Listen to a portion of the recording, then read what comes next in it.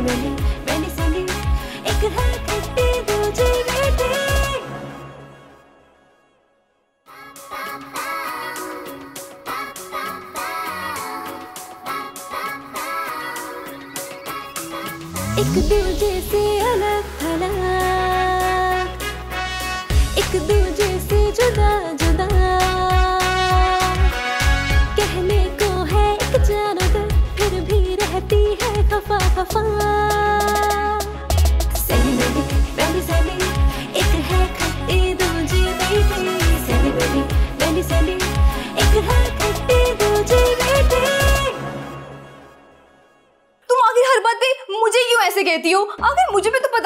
चाहिए ना कि हम कर क्या रही हैं? हम ना झक मारने का ऑफ़िस खोल रहे हैं। तुम्हें नहीं पता हम क्या करने लगे हैं?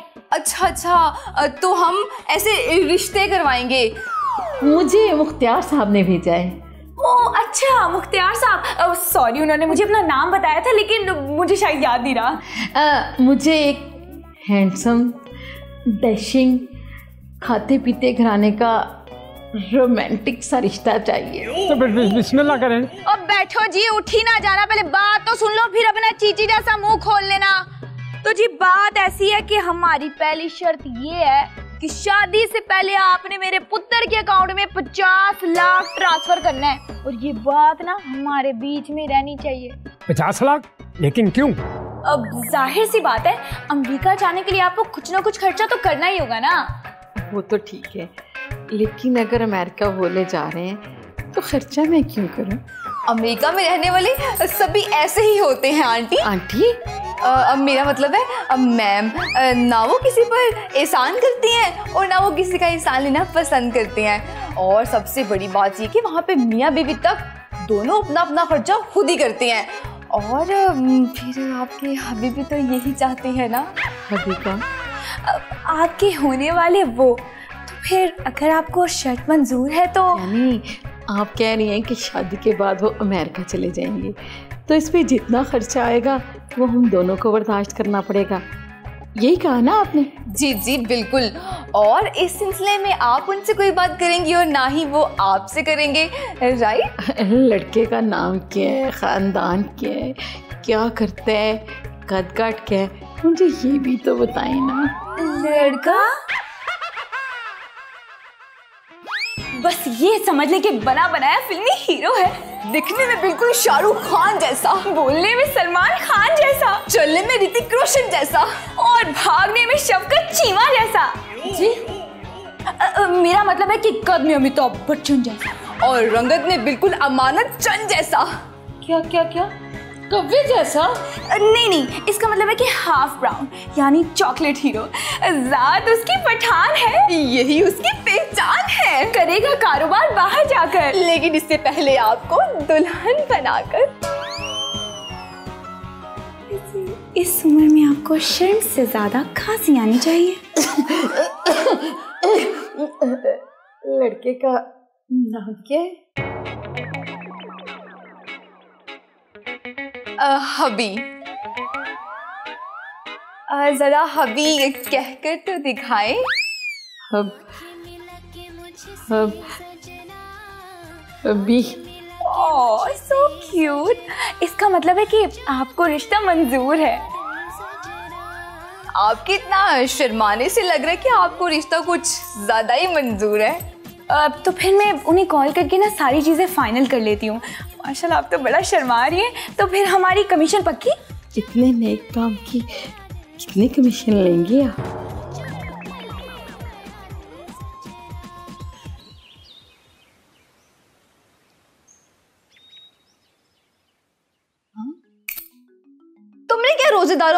बनाया हुआ है। जबकि रोजों से तो तुम्हारा दूर दूर का कोई ताल्लुक ही नहीं है। हर वक्त ना जली कटी सुनाना ज़रूरी नहीं होता।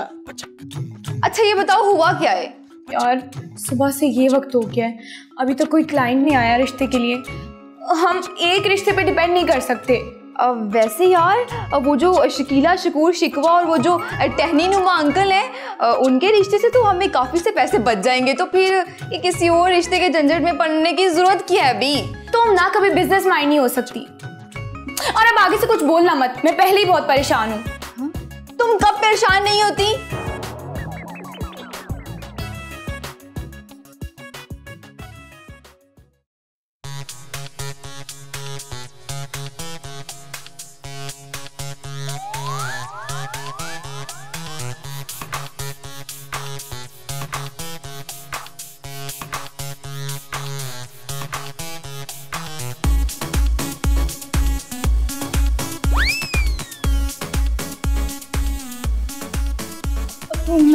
जल्दी से एक्टिव हो जाओ। एक क्लाइंट आ रहा और बहुत हैंडसम है।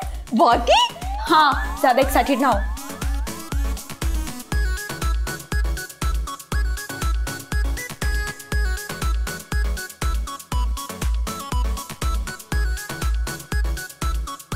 आए ना सर बैठे।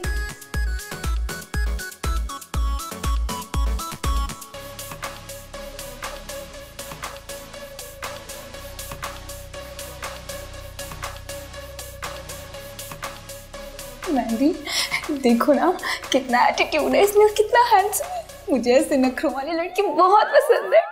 ज़्यादा शोखी ना हो। पॉइंट की बात करो। सर आप यकीनन यहाँ कोई रिश्ते के लिए आए होंगे? तो बताएँ आपको कैसी लड़की चाहिए? मेरे जैसी या फिर मेरे जैसी? हाँ?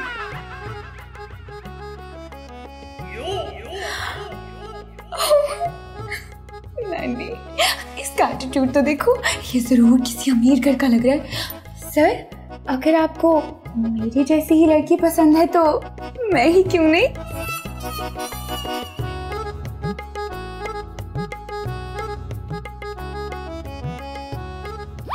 ये तुमने क्या चीप रोमांस स्टार्ट किया हुआ है, ये तो वैसे ही गूँगा लग रहा है। किसी बात का कोई जवाब ही नहीं दे रहा।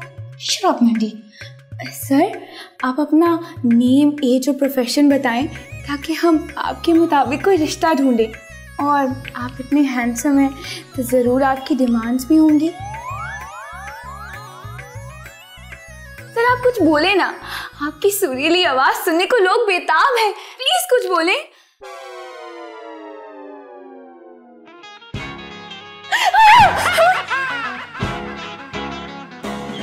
सर ये यहाँ है। सर आप अब अपनी सुरीली आवाज़ में अपना नाम भी बता दें। हाँ मेरा नाम अरे मेरा रिश्ता! अरे सुनो! अरे रोमियो की जूलियट कहाँ है यार? यार मैंडी ये क्या था? रोमियो? तुम्हारा रोमियो? मैंडी तुम ही उससे डील करो। मैंने तो नहीं जाना उसके सामने। क्यों? अब क्या हुआ? पहले तो वो तुम्हें बड़ा हैंडसम लग रहा था और डैशिंग भी। मुझे क्या पता था कि आईफोन की पैकिंग में से नोकिया निकल आएगा। वैसे एक बात कहूँ वो तुम्हारे साथ सूट बहुत करेगा। मैडी मैं तुम्हारे साथ अच्छा बस। ज़्यादा बातें करने की ज़रूरत नहीं है। अब जाओ और उससे बात करो। अब बुरी बात है यार ऐसे किसी को ट्रीट करना। वो जैसा भी है, उसे अल्लाह पाक ने बनाया है ना। और फिर हमारा बिज़नेस भी तो इसी तरह का है ना। यहाँ पे इस तरह के लोग तो आते जाते रहेंगे। क्योंकि शादी का अरमान तो सभी को होता है ना। बेचारी।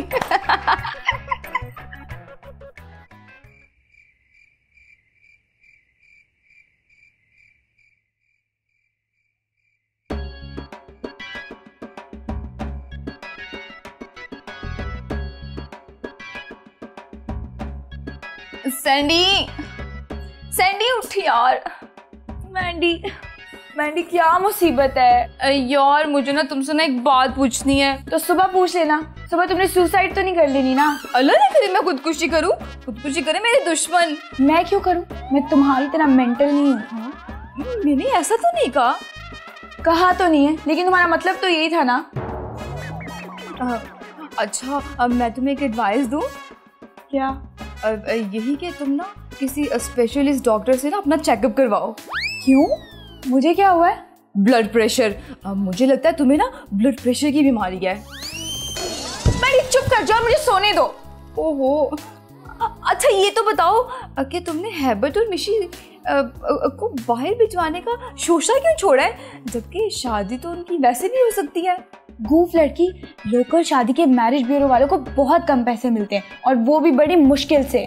तो और ये जो बैरून मुल्क वाली शादियाँ होती हैं ना इनमें लोकल शादियों से डबल कमीशन होता है। क्योंकि दोनों पार्टियाँ ही स्ट्रांग होती हैं।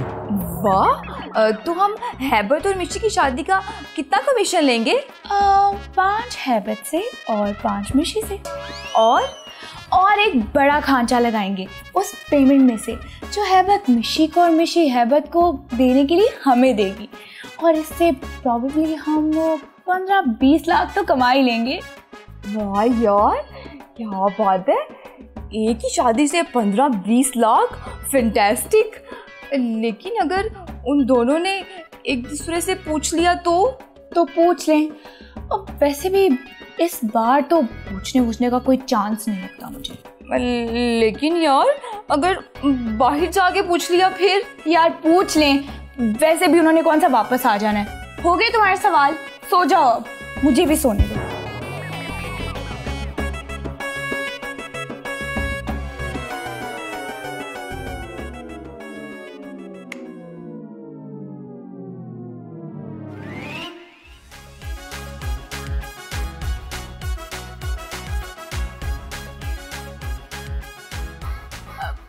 अब कैसी हैं आप? मैं बिल्कुल ठीक एकदम फैंटास्टिक अब जी तो अ, मैंने आपसे पूछना था कि आप जल्द से जल्द शादी कब कर सकती हैं? ये मैं नहीं आपके होने वाले उन्हों पूछ रहे थे। जी नहीं नहीं ज़्यादा तैयारियाँ करने की ज़रूरत नहीं है। बस आपने गवाहों को अपने साथ लेकर आना है और निकाह आपका हमारे ऑफ़िस में अदा होगा। जी। नहीं नहीं, ये तो उन्हीं का सजेशन है। अब दरअसल आपको तो पता है कि आजकल लोग लव मैरिज पे कहाँ मानते हैं? तो अहबत जी की फैमिली में भी कुछ ऐसे लोग हैं जिनको आप बिल्कुल पसंद नहीं है। तो एक दफ़ा जब आप लोगों का निकाह हो जाएगा ना तो फिर सबके मुँह वैसे बंद हो जाने हैं। जी तो फिर मैं अगर आपको सही लगता तो मैं अहबत जी को फ़ोन करके बता दूँ। जी, एक मिनट वो जो हमारी कमीशन और लड़के की जो पेमेंट की बात हुई थी वो तो याद है ना आपको? अरे नहीं नहीं पैसों की क्या बात है? मुझे तो बड़ी खुशी आपके निकाह की।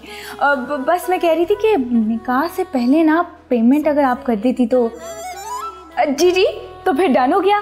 अ, मैं अहबत जी को कॉल करके बता देती हूँ और आप लोग भी तैयारियाँ कर लें। थैंक यू सो मच तो बस आप अपना ख्याल रखिए आखिर दुल्हन है आप। जी जी। ओके जी बाय मैनी मैनी जल्दी आओ यहाँ. मैनी क्या है? चिल्लाना बंद करो. नाश्ता भी तैयार हो रहा है. नाश्ते को मारो गोली. वो जो मैंने फरी की शादी पे ड्रेस पहना था ना वो प्रेस कर दो. और अपने भी कोई ढंग से कपड़े निकालो क्योंकि हमने एक फ़ंक्शन अटेंड करना है. फ़ंक्शन लेकिन कैसा फ़ंक्शन हैबत खान और मिशी के निकाह का फ़ंक्शन क्या इतनी जल्दी? बेवकूफ़ उनका जल्दी निकाह करेंगे तभी तो माल हमारे हाथ में आएगा ना। अच्छा लेकिन निकाह है कितने बजे और जाना कहाँ है? ओफो फ़ंक्शन तो हमारे ऑफ़िस में ही है। और फ़ंक्शन से पहले हम लखपति बन जाएँगे लखपति। ऑफ़िस में? निकाह भी और रुखसती भी? अभी सिर्फ़ हम उनका निकाह कराएँगे और जैसे उनके जाने का बंदोबस्त होगा उससे एक दिन पहले हम उनकी रुखसती कर देंगे। यार लेकिन अगर हैबत खान ने जिद की कि उसे निकाह के साथ साथ रुखसती भी चाहिए। तो फिर?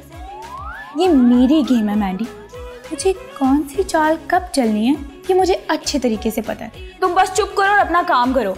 तब तक मैं को फ़ोन करके ना निकाह की टाइमिंग्स फाइनल कर लेती हूँ। जल्दी जाओ मुझे बहुत भूख लगी जाओ नाश्ता बनाओ। लेकिन यार बारात में होगा कौन कौन मैंडी। गो! आएगा कौन कौन सवाल ही नहीं खत्म होते तुम्हारे। जाओ।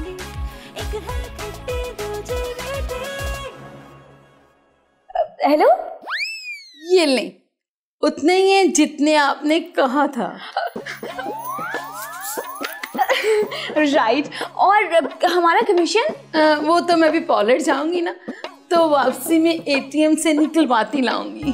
मतलब पॉलर क्यों जाएँगी आप? हमारे यहाँ हर किस्म की सहूलत मौजूद है। मैंडी इन्हें अंदर ले जाओ और इतनी प्यारी दुल्हन बनाओ कि इनका दूल्हा इन्हें देखता रह जाए।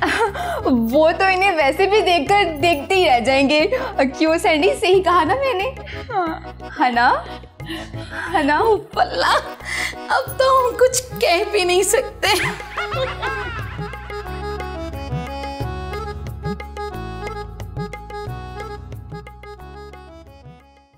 हेलो, हैबत खान साहब।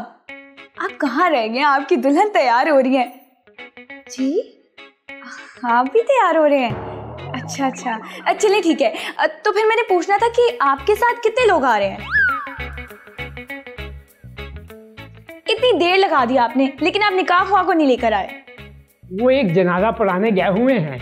अभी थोड़ी देर में आ जाएँगे। पहले आप मुझे ये बताएँ, वो मेरे होने वाली कहाँ है? आप पहले मुझे ये बताएँ कि वो कहाँ है? ये रही आपकी इमानत। गिन ले आपकी कमीशन पाँच लाख रुपया है इसमें पूरी। अब सर आप कैसी बातें करें आप पे हमें पूरा एतबार है। अब इन्हें गिनने की कोई ज़रूरत नहीं है। मुझे पता है ये पूरे ही होंगे।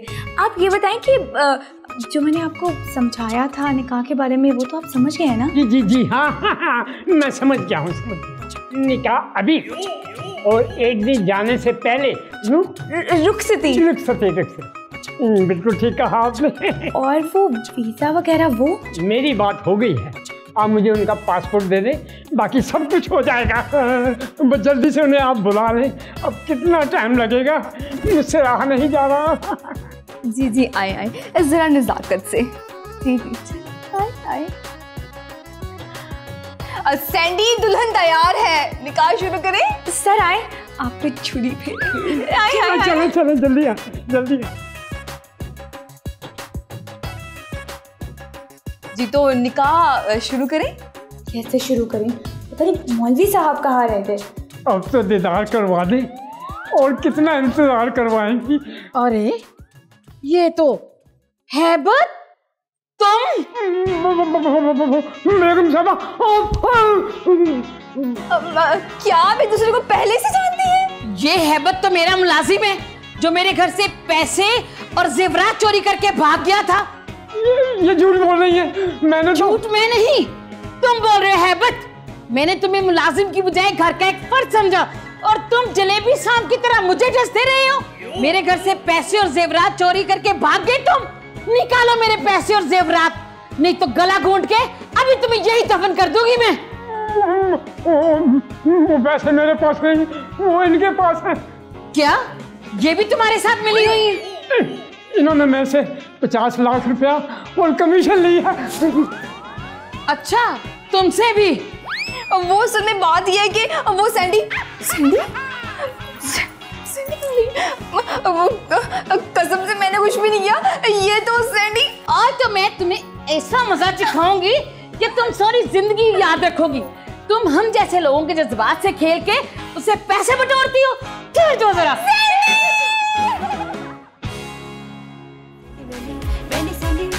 एक